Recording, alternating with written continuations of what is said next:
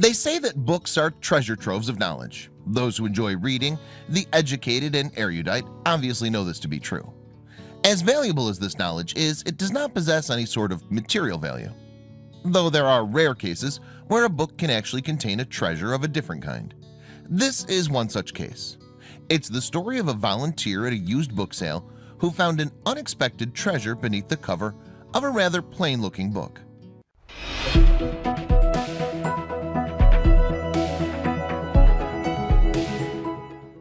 There are a number of volunteer organizations out there that deal in things like clothing donation and the sale of remained books. Volunteer Nonprofit Services Association Incorporated, a volunteer group located in Phoenix, Arizona, is one such organization.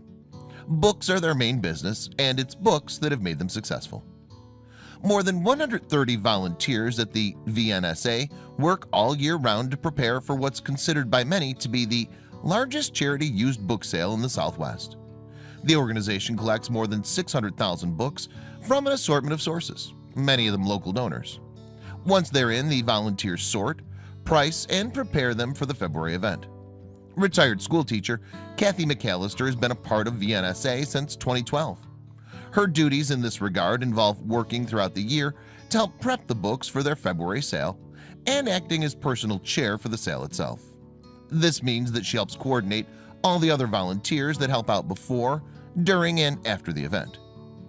It was before the 2019 book sale and Kathy once again found herself sitting amidst a towering pile of books and sorting through them to ensure they were in good enough condition to resell.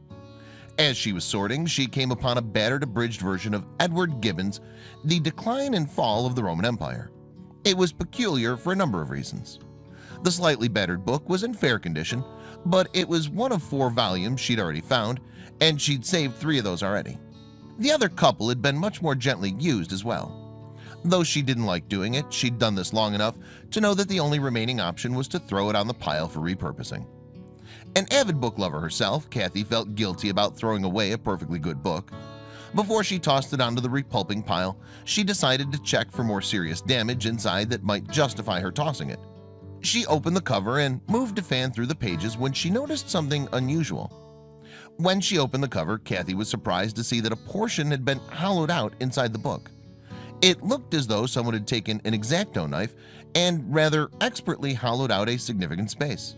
What's more, the book's previous owner had chosen to hide something in that space. I had the book in my hands, Kathy explained to Bookster. I was ready to toss it because we had several copies already, but when I fanned that book out, there's a big hole carved in the book amongst the pages. She looked down and saw that someone had hidden what looked like bills in the space. Kathy's first thought was that the bills were Monopoly money that perhaps a kid had hidden inside as part of some childish scavenger hunt or something. She reached in and pulled out the money. She felt it. It felt legit. A moment later, Kathy realized that these were not board game bills at all, but bundles of genuine $100 bills. The $100 bills were all banded in the same way that a bank would band them. In total, she found four packages, each containing 10 $100 bills. Whoever had owned the decline and fall of the Roman Empire had chosen to hide $4,000 inside this book. She wondered if they even knew it was missing. Kathy's second thought upon seeing the money was, wow, this is enough money to fund a supplemental charity. She didn't bother considering keeping the money. She wasn't that type of person. It didn't feel right to keep it for any reason. My values were grounded in our faith, she confessed afterwards. She continued by explaining that the church taught us what was right and wrong. It just becomes who you are after a while. Regardless of how much good she thought she might be able to do with the money, Kathy decided that the only realistic option left to her was to return it to its rightful owners. But how could she find them? Luckily for Kathy, the decline of the Roman Empire contained more than just $4,000. It also contained a family letter with the name of the book's former owner. Using this letter, Kathy might be able to follow the links and get it back to its rightful owner. Still, it would take a little digging. Thankfully, the book's previous owner just happened to have a pretty unusual last name. This made Kathy's subsequent internet search that much easier. After only about 10 minutes online, Kathy found them. The money belonged to a man and his daughter, and they were about to get some rather good news. Kathy got in touch with the owner's son-in-law, and the two agreed that the family would come down to the warehouse to retrieve the money. She would have met them at their place, but she had too much to do gearing up for the show. The man's father-in-law hadn't even remembered that he'd hidden the money in the first place. The family had received an absolute windfall, so they decided to pay it back. They were so thankful for Kathy's honesty and quick response to them that they actually ended up donating a rather large donation to the Volunteer Nonprofit Service Association to show their gratitude. Word of Kathy's honesty soon spread. Kathy soon became a minor internet celebrity, and one of the most popular questions she received was one with the easiest of answers. People wondered why she didn't just keep the money for herself. This surprised Kathy, who simply replied with the matter of fact, I don't know how you would sleep at night. On February 9, 2019, the doors to the annual VNSA book sale opened for the first time.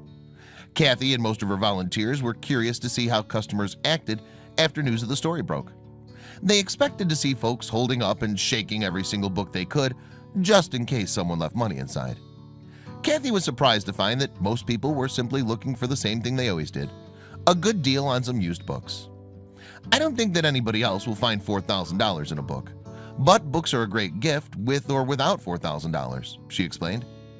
The Volunteer Nonprofit Service Association that Kathy works for began in 1949 and for the past 63 years had continued their tradition of saving and repurposing affordable books to the general public. Frankly, we need more organizations like these and more people like Kathy McAllister in the world.